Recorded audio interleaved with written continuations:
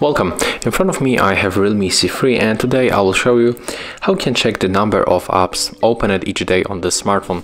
So at the first we have to move for the settings, mm, next we have to find the digital well-being and the parental controls and when we are here we have to go for the unlocks.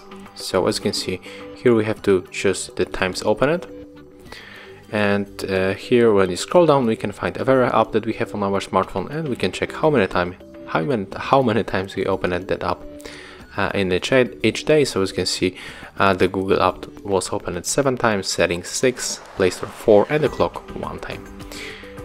So of course we can also switch for the days. So for the from the Thursday to Wednesday, and the settings were open at the one time.